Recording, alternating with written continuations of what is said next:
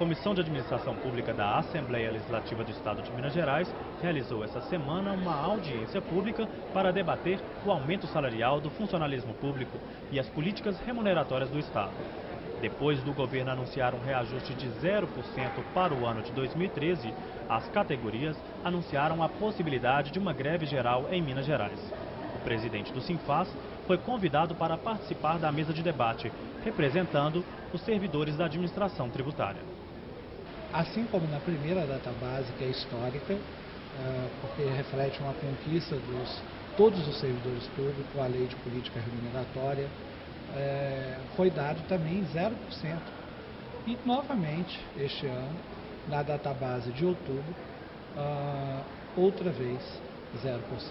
E e nada acontece pelo segundo ano consecutivo. E a perspectiva, se não for a eleição, somente em anos de eleição é que teremos um reajuste geral. Uh, e, ou seja, só teremos de quatro em quatro anos um reajuste. Então, diante disso, só nos restou é, procurar a ajuda da Assembleia Legislativa, dos deputados estaduais, do presidente da casa, porque essa é uma casa do povo. E diante é, da, do, da dureza do governo é, em não admitir nenhum tipo de negociação. Disse, é zero e pronto, acabou, não tem mais conversa.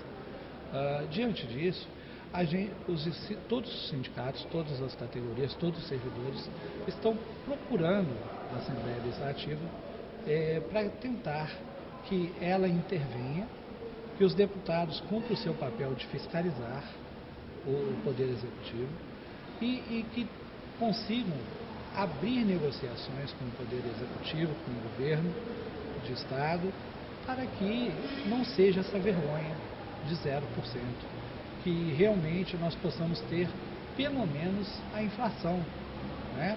que é de 6,8%, é, 6,8%, pelo menos que seja recuperado na nossa data base o reajuste da inflação do período.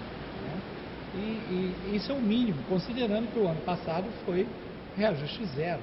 É, pela primeira vez, depois de anos e anos de lutas, da conquista da lei de política remuneratória, enfim, nós tenhamos o primeiro reajuste geral da data base e que o servidor possa comemorar e a consolidação dessa lei de política remuneratória, dessa grande conquista dos servidores.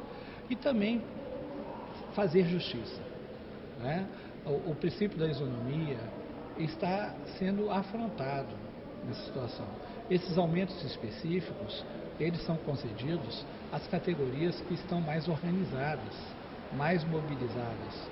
E, e, e milhares de servidores que não têm ainda a, a mobilização necessária ou tão forte, ficam sem reajuste nenhum, porque dependem desse reajuste geral dessa conquista da lei de política remuneratória e ela não está sendo cumprida. Ou seja, mais uma vez, não só na Secretaria de Fazenda a lei não está sendo cumprida, como no Estado inteiro, especificamente a lei de política remuneratória, mais um ano em que ela não é cumprida.